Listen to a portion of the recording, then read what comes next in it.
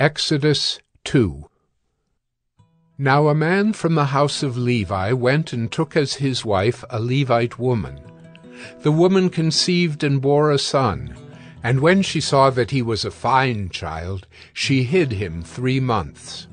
When she could hide him no longer, she took for him a basket made of bulrushes, and daubed it with bitumen and pitch. She put the child in it, and placed it among the reeds by the river bank. And his sister stood at a distance to know what would be done to him. Now the daughter of Pharaoh came down to bathe at the river, while her young women walked beside the river. She saw the basket among the reeds, and sent her servant woman, and she took it. When she opened it, she saw the child, and behold, the baby was crying. She took pity on him, and said, this is one of the Hebrews' children. Then his sister said to Pharaoh's daughter, Shall I go and call you a nurse from the Hebrew women to nurse the child for you? And Pharaoh's daughter said to her, Go. So the girl went and called the child's mother. And Pharaoh's daughter said to her, Take this child away and nurse him for me, and I will give you your wages. So the woman took the child and nursed him. When the child grew up, she brought him to Pharaoh's daughter, and he became her son. She named him Moses. Because, she said, I drew him out of the water. One day, when Moses had grown up, he went out to his people and looked on their burdens. And he saw an Egyptian beating a Hebrew, one of his people. He looked this way and that, and seeing no one, he struck down the Egyptian and hid him in the sand. When he went out the next day, behold, two Hebrews were struggling together.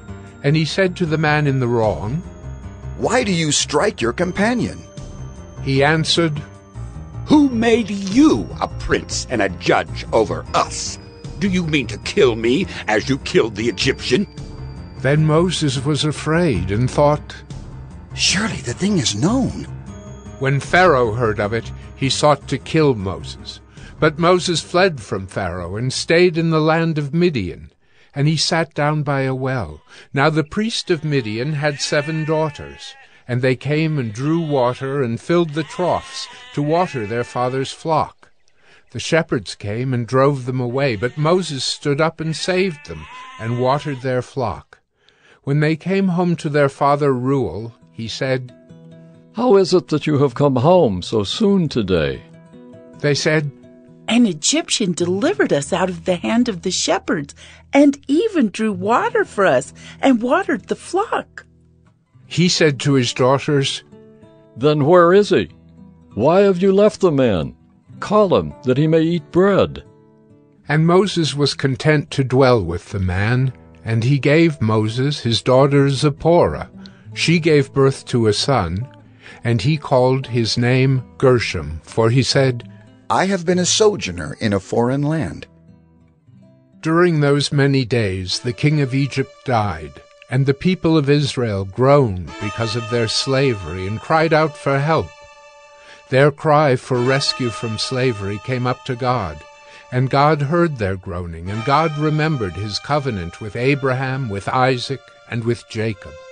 God saw the people of Israel, and God knew.